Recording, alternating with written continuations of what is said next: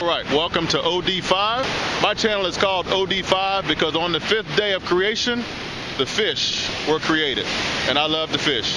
OD5. I hope you enjoy the journey.